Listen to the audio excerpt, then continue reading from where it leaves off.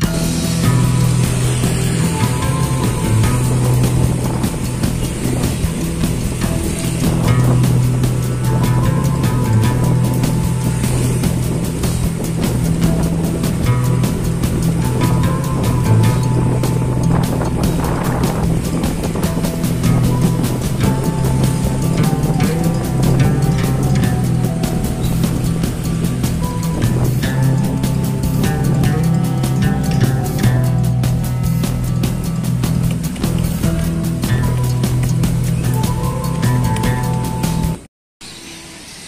Oke teman-teman ya ini hari ini saya mau lihat updatean stok ya karena tadi malam sempat dikirimin uh, foto seperti ini.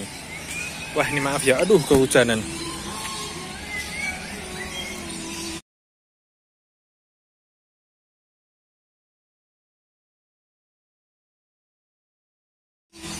Nah fotonya itu ya, jadi sempat dikirimin update stok. Uh, enaknya itu ya kalau kenal sama pedagang burung di Depok ini. Jadi tinggal tinggal datengin aja. Nah, ikutin saya ya.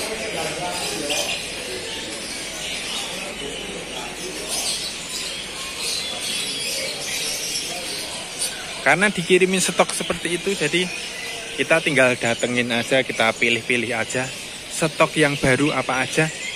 Nah, nanti tinggal kita beli ya ini di pasar. Oke, kita langsung menuju ke kios teman saya ya. Ya nggak teman sih, tapi kenal. Oke.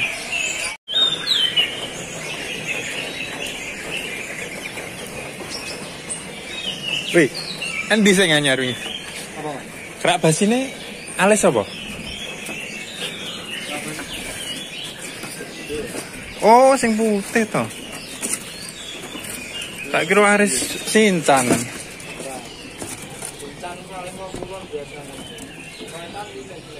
Oh, kerak basi alis putih gede kok ya. Hengannya di kita.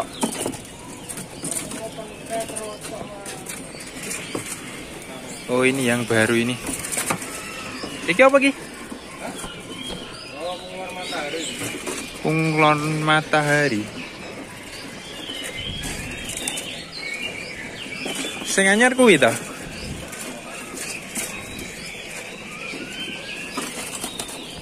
Oh ini ada kadalan.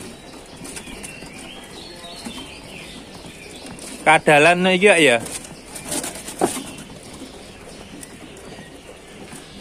Ada burung kadalan. Tak kira sing alis ireng gelem aku. Ternyata kerak basinya yang alis putih. Oh ada mantenan ini. Sing alis ireng no gelem aku. Tak kira sing alis ireng gelem aku nek alis ireng. Iki apa tau Jan?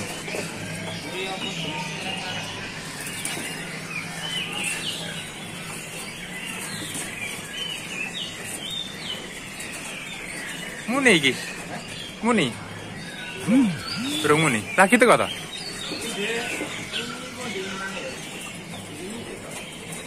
Kaya SRDC ya? sing sing dodole lali sle meneh aku. Jungkangane ya akeh ya. Eh, jungkangan. Eh? Siapa lagi?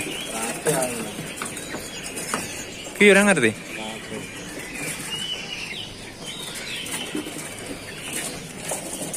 Lanang wedok ora ngerti? Kuwi.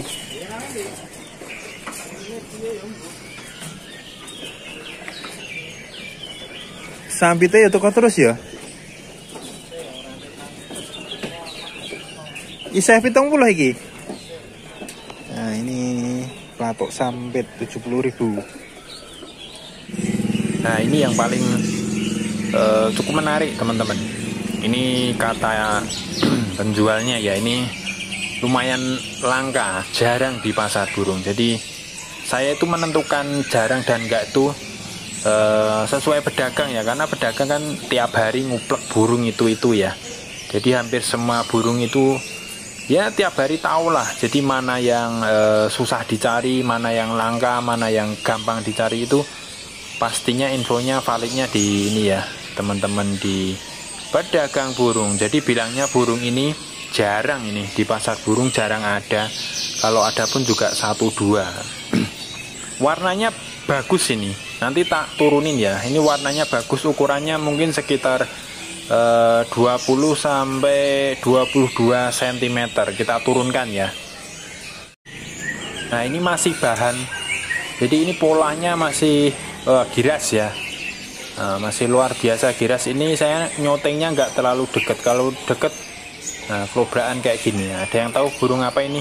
Agak gelap ya? Sebentar. Nah, udah terang kelihatan? Sebentar coba lihat. Dari sini ada yang tahu burung apa ini? Ini eh, kata yang jual ya. Ini namanya burung rowo-rowo kalau kata mereka ya burung seperti ini mirip cucak rowo cuman menurut saya ya mirip sedikit sih. Ya agak mirip.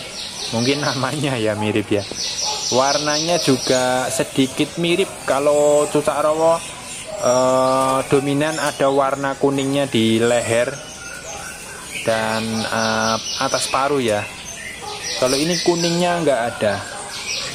Tapi katanya pedagang pasar ini eh, biasa digunakan juga eh, para ini ya para penjual nakal itu biasanya disemir sobatku. Ini disemir sedikit atas paruhnya itu agak dikasih kuning-kuning sedikit.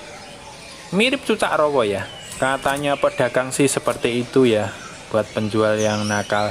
Cuman saya nggak menuduh satu dua pihak ya itu cuman katanya penjual burung atau pemilik kios rata-rata menggunakan burung rowo-rowo ini untuk mengakalin calon penjual yang mencari cucak rowo. Lo ini loh.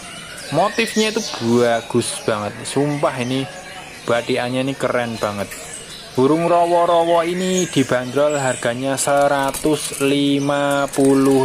ini ekornya brodol kalau panjang ya itu mungkin ukuran badannya sekitar ya itu 20 sampai 22 cm karena ini ekornya brodol jadi kelihatan pendek ya. Saya aku ini motifnya keren banget burung ini. Jarang ada juga. Saya ulangi harganya cukup 150.000 dapat burung cantik namanya burung rowo-rowo.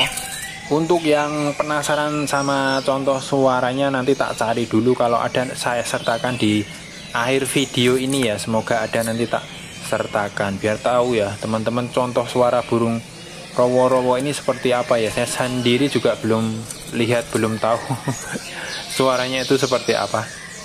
Tapi dilihat burung karakter seperti ini mesti uh, burung itu suaranya tuh lantang banget. Uh ini lo lihat. Motifnya itu uh keren banget. Cuman masih giras ya ini ya habitat burung ini di Pulau Jawa, Sumatera, Kalimantan uh, ada ya. Cuman ya itu ya uh, sesuai dengan namanya burung ini emang letaknya di area ini ya, area hutan uh, basah ya. Untuk makanannya burung ini pemakan uh, serangga bisa dikasih ulet hongkong, ulet kandang, jangkrik ya. Pasti suka banget jangkrik burung seperti ini. Bukan pemakan buah ya tidak seperti cucak rowo. Dia suka buah. Kalau rowo-rowo ini pemakan serangga